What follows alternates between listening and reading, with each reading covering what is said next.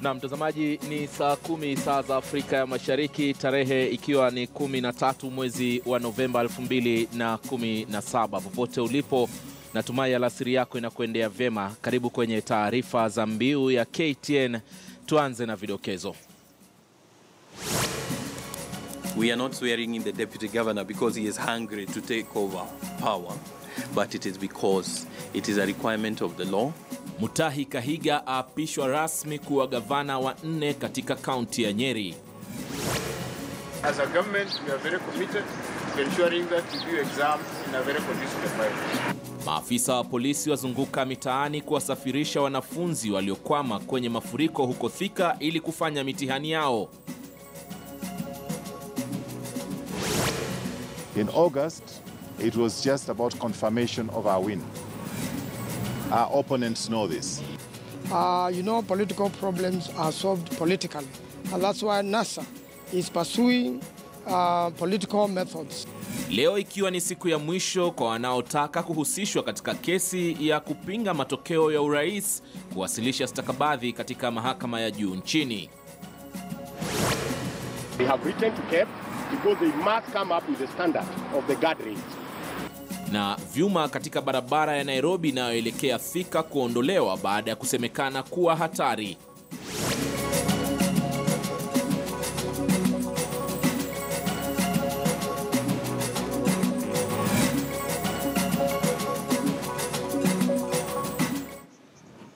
Karibu kwa taarifa kamili za mbiu ya KTN. Jina langu ni Ali Manzu. Kaunti ya Nyeri sasa imepata gavana mpya. Aliyekuwa naibu wa gavana kaunti hiyo Mutahi Kahiga ameapishwa rasmi mapema hii leo mwendo wa alasiri. Hii ni kufuatia kifo cha gavana wa kaunti hiyo Wahome Gakuru wiki jana katika ajali ya barabarani. Viongozi mbalimbali waliweza kushiriki ama kuhudhuria sherehe hiyo. The senator, all protocol observed. Good afternoon. Good afternoon again. The presiding judge, Your Honor, this is a swearing-in ceremony of the fourth governor assuming the office of Governor of Nyeri County under the provisions of Article 182 subsection 1A and 2 of the Constitution in fulfillment of the requirements of Section 30, subsection 1, and Section 32, subsection 1 of the County Government Act. Your Honor, you are now called upon to administer the oath of office. The presiding judge, the Honorable Jairus kindly come forward to administer the oath.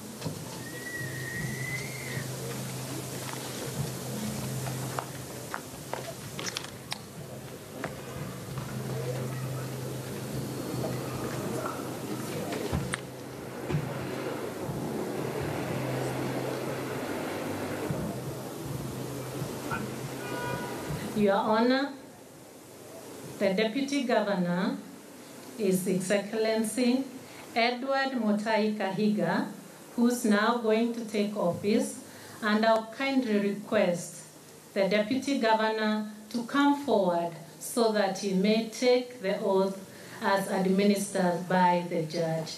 Come forward, Deputy Governor.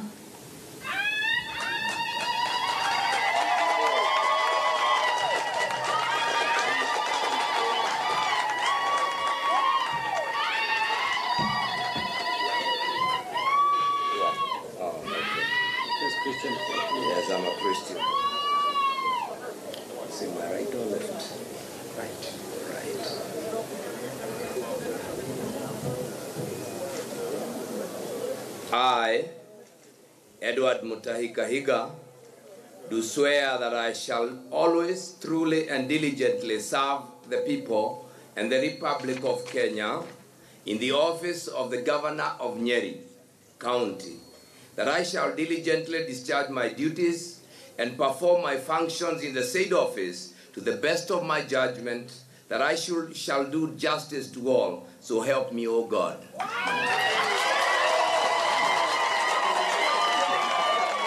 You kindly have a seat so that you may sign the oath and the certificate.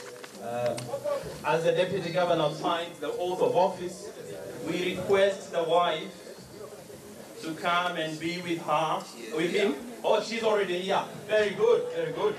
Thank you. Once the Deputy Governor signs, he takes charge of the county and his functions and responsibilities are provided for in Section 30 of the County Government Act. Among his many functions include diligently executing the function and exercise the authority provided for in the Constitution, perform state functions within the county as the President may from time to time assign on the basis of mutual consultations, appoint with the approval of the County Assembly, the County Executive Na mtazamaji, tutarudi baadaye katika kaunti hiyo ya Nyeri. Kuna shughuli ambazo zinaendelea hivi sasa, ambapo tutakuwa tunaunganishwa na mwanahabari mwenzangu katika maeneo hayo ili kutuelezea na kinachoendelea. Hata hivyo, mapema hii leo viongozi wa makanisa kutoka kaunti hiyo ya Nyeri walikuwa katika afisi ya gavana wa Nyeri ili kuiombea afisi hiyo. Maombi maalum, kumradhi, yalifanywa kufuatia kufariki kwa magavana wawili mtawalia. Over the governor. Yes. A blessing over every staff. Oh, yes. Early morning ahead of the swearing-in ceremony of Nyeri's fourth governor Mutahi Kahiga, special prayers were held right from the gate at the governor's office. Yes. As we pour oil on this plate. Samani mtazamaji, samani sana kwa taarifa hiyo ambayo imewekwa katika nafasi ambayo haikufaa kuwekwa, ni ya Kiingereza. Hata hivyo, tutatafuta ile ya Kiswahili ili tuku tukuletee baadaye kidogo. Kumbuka bado tunafuatilia na kinachoendelea katika ama kutoka katika sehemu hiyo. Tukiendelea na taarifa zaidi, mvua kubwa inayoendelea kunyesha katika baadhi ya maeneo ya taifa inaendelea kusambaratisha shughuli za kila siku kwa wenyeji maeneo hayo. Watahiniwa wa kidato cha nne hawajasazwa na baadhi wanapata wakati mgumu kufika vituo vyao vya shuleni ili kufanya mtihani hiyo. Mvua inayoendelea kunya maeneo tofauti nchini inasababisha mafuriko hasa katika mitaa na kuathiri shughuli za kila siku. Katika mji wa Thika, kaunti ya Kiambu, shughuli za mitihani wa kidato cha nne iliathiriwa kwa muda mapema hii leo, lakini maafisa wa polisi walilazimika kushirikiana na maafisa wakuu wa elimu kuwasaidia watahiniwa. Watahiniwa wa kidato cha nne walifuatwa makwao kwa usaidizi wa magari ya polisi, mashirika yasiyo ya kiserikali na idara nyingine za serikali baada ya mitaa mingi mjini Thika kupata mafuriko. We are here first just to express our concern, very serious concern about the situation you are finding yourself in. I spoke to your principal this morning at around 5 o'clock, trying to see how best we could be able to mitigate on uh, the situation that is uh, confronting us today and even a bigger part of yesterday. But I'm happy that you, you are not late for your exam and you have been able to find a temporary solution to the situation you are in today. Katika baadhi ya shule hali ilikuwa sawa na mitaani, sehemu za kiingilio na hata viwanjani vikijaa maji na kupelekea wanafunzi na waalimu wao kupata wakati mgumu kufika madarasani. Hata hivyo, naibu wa kamishna aliahidi kutekeleza wajibu wa serikali.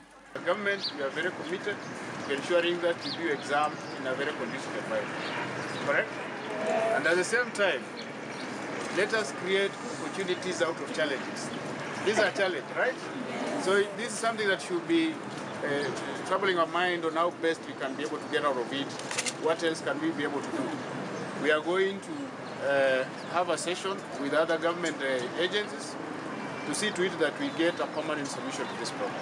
Na baada ya wanafunzi hao na wasimamizi wa mitihani ya KCSE kusaidiwa kufika shuleni kwa wakati unaofaa, mitihani iliendelea bila tatizo lolote baada ya kuanza wakati ulioratibiwa kote nchini. Kwengineko, watahiniwa wawili wa kidato cha nne ambao walipatikana na rununu shuleni watafikishwa mahakamani baadaye leo. Mmoja wao atashtakiwa hapa jijini Nairobi, huku mwingine akishtakiwa katika mahakama ya Wajir. Kufikia sasa, visa sita vya makosa katika mtihani vimefika mahakamani.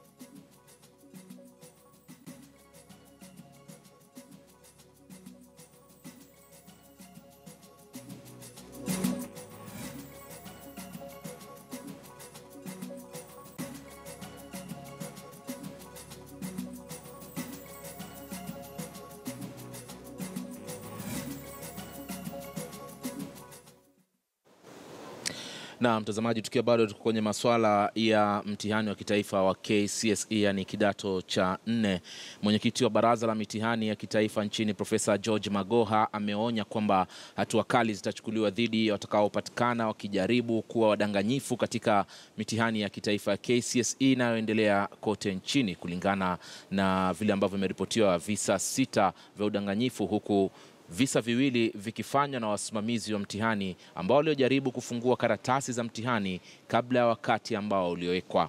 Magoha alikuwa akizungumza jijini Kisumu. With regard to the examination process itself, we have re-engineered the larger part of the process for the betterment of our children.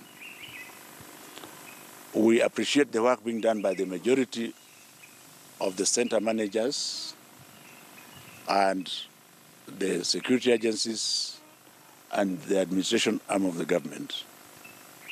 But Kenyans being who we are, it is still unfortunate and it is my duty to let you know that there are still a few center managers, well-trained teachers,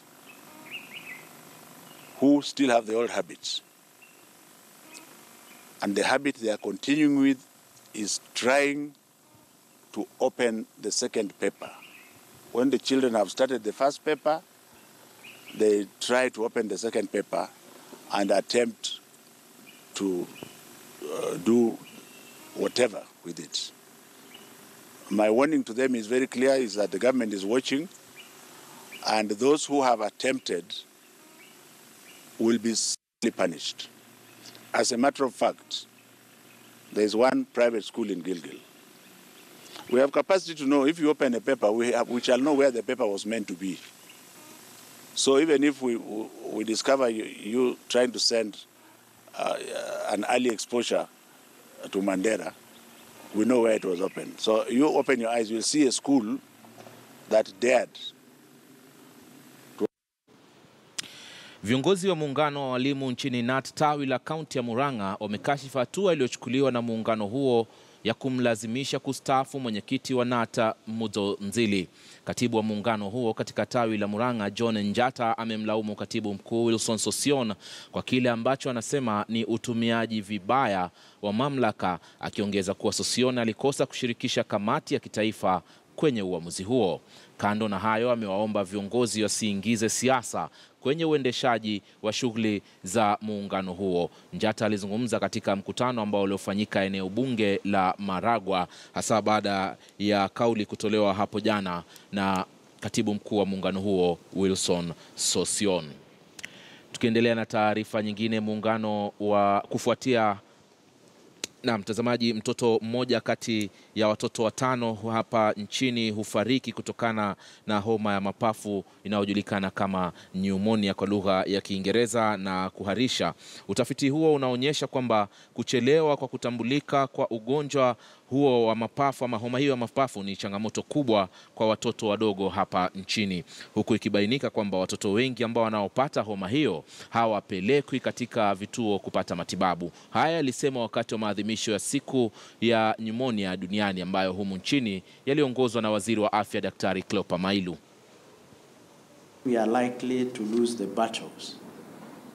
New approaches are required in management of many conditions, including pneumonia. New products are required, which are more potent and more user friendly so that we can combat disease. If you look at uh, the development of amoxicillin, when it was first when it was first developed, it was developed as an injectable formulation. Then came the tablets, and what has most commonly been used for children is a syrup base. The syrup requires you to have clean water to reconstitute the powder, to measure it accurately, and to administer. We know we have challenges with access to clean water. And the importance to, to improve on investment in this area. Uh, you have seen the new the, the little investment that we have done from 2010, 2010. Kenya has moved from those 15 countries and is somewhere in the middle now right now to be to be considered, you know, out of this out of this out of these danger diseases. So I think if we just put more effort on this, especially on diarrheal control and pneumonia, and put some more resources, I'm sure we can meet the SDGs. Na aliyekuwa mwenyekiti wa shirika la kitaifa linalopambana vita dhidi ya matumizi mabaya ya mihadarati yani NACADA, John Mutudho amepaza hisia zake juu ya kuongezeka kwa visa vya matumizi ya mihadarati kwa watoto wakati wa sherehe za tohara kwa vijana ambazo zinazofanywa wakati wa likizo hasa mwezi wa Disemba. Kulingana na Mutudho, dawa za kulevya kama vile bangi, tumbaku na pombe haswa za kienyeji zinatumika sana wakati wa sherehe hizo sehemu mbalimbali mwa taifa. Alizitaja baadhi ya sehemu kama vile sehemu ya kati ya Kenya na magharibi mwa Kenya kama zilizoathirika zaidi na sherehe hizo. Our glad children are being forced to take that in the process of being initiated. They are being forced into drugs. They are being forced to take some poisonous stuff. And last year alone, Naivasha, there was a kid that died after being forced to chew Datura stramonium, a very poisonous plant. I am aware the Red Forest is from uh, this week. There are children there, and they are taking concoction made of blood, made of milk, made of some plants, and they are being taught how to behave like beasts. They are being taught to behave like we used to do in 16th century, 17th century, 14th century. What are we doing? May I tell you, and be warned, that one, the Constitution is not all about electing the president. It has a lot of provisions that safeguard the rights of a human being. Na tukitoka katika kaunti ya Nakuru hapo mjini Naivasha, tuelekee katika kaunti ya Tana River ambako jamii ya wafugaji kutoka sehemu ya Tana Delta katika kaunti hiyo sasa wana kila sababu ya kutabasamu, hasa baada ya serikali kupitia shirika la maendeleo ya kilimo kununua mifugo wao ili kuwaepusha na hasara. Serikali imebuni njia hii kama aina moja ya mikakati ya kuhakikisha kuwa wakazi hao hawapotezi mapato yao kufuatia ukame ambao uliokithiri katika eneo hilo kwa zaidi ya miezi mitano sasa.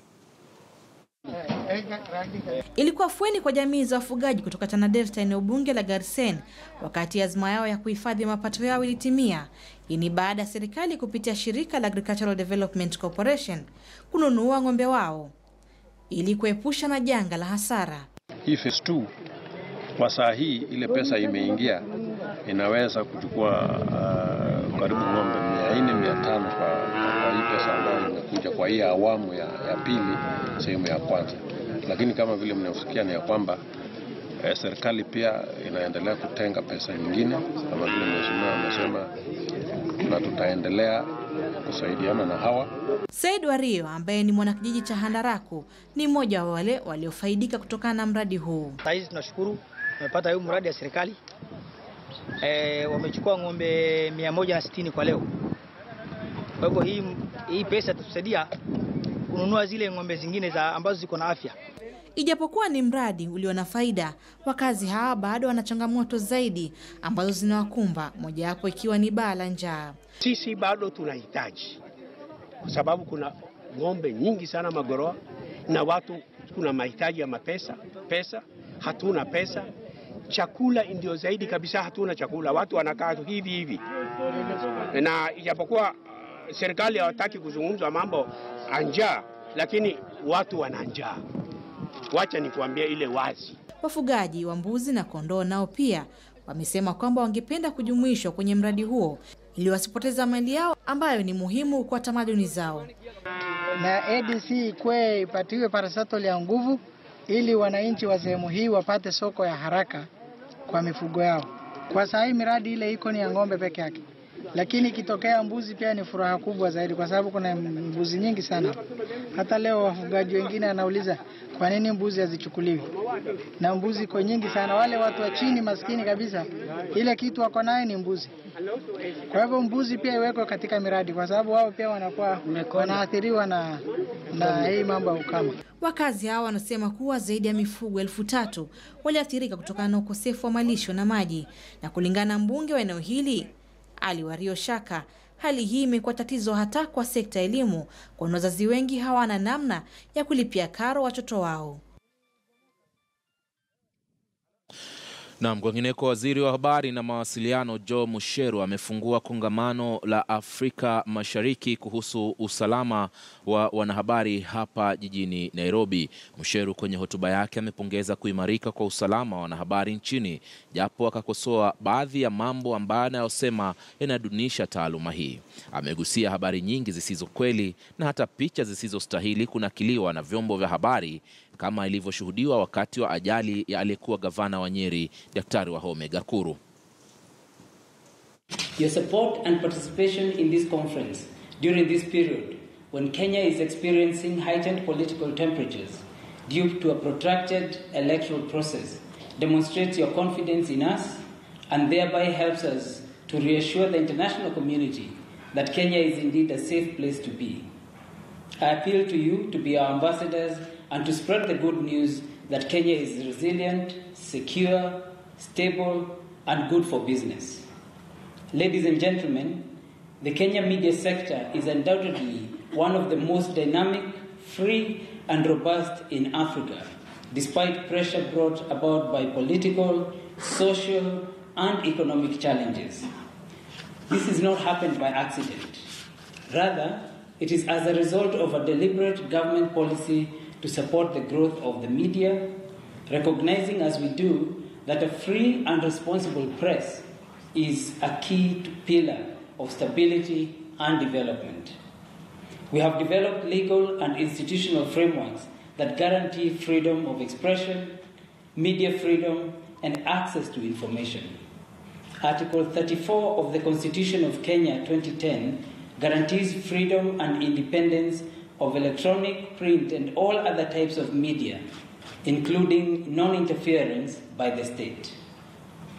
Through my ministry, which oversees the media sector, we have ensured that these provisions are adhered to. The Constitution also binds Kenya to several international and regional legal instruments governing free expression, including the International Covenant on Civil and Political Rights and the African Charter on Human and People's Rights.